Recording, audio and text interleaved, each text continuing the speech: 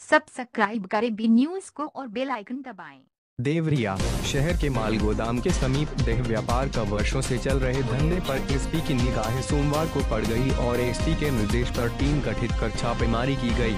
इस दौरान अवैध धंधे में संलिप्त दो महिलाओं को टीम ने जहाँ दबोच लिया, वहीं इस धंधे में संलिप्त आधा दर्जन महिलाएँ मौके से फरार हो गई। देर शाम तक पकड़ी गई महिलाओं से पुलिस टीम पूछताछ कर रही थी। पुलिस का दावा है कि फरार महिलाओं को भी जल्द ही दबोच लिया जाएगा। बताया जा रहा है कि माल गोदाम के समीप ओवर ब्रिज के नीचे हर दिन देह व्यापार करने वाली महिलाएँ एकत्रित होती हैं और भोले भाले लोगों को अपना शिकार बना लेती हैं। कई बार तो पुलिस कर्मियों को भी यह निशाना बना लेती है और उनका पैसा तक साफ़ कर दी। यह मामला कई बार कोतवाली में भी पहुँचा, लेकिन इसको लेकर सख्त कार्यवाही नहीं की गई और देह व्यापार करने वाली महिलाओं का मनोबल बढ़ता गया।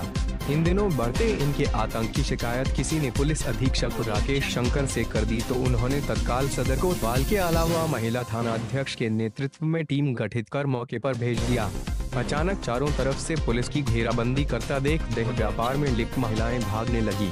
पुलिस टीम ने दो महिलाओं को दौड़ाकर पकड़ लिया, जबकि अन्य भागने में सफल हो गई। इस बाबत महिला थाना अध्यक्ष शोभा सोलंकी ने कहा कि पकड़ी गई महिलाओं से पूछताछ चल रही है।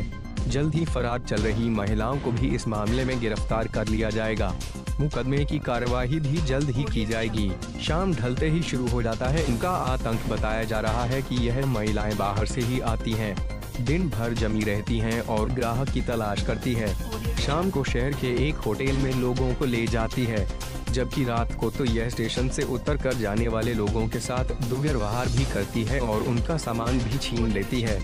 ऐसी महिलाओं से अपना सब कुछ लूटे जाने के बाद लोग अपनी बदनामी को बचाने के लिए कहीं कुछ कहते भी नहीं है, जिसके चलते इन महिलाओं का मनोबल बढ़ता ही जा रहा है। पैसा न देने पर वे लोगों की पिटाई भी रात को करती है। यह क्षेत्र बदनाम इलाके के नाम से हाल के दिनों में जाना जाने लगा है।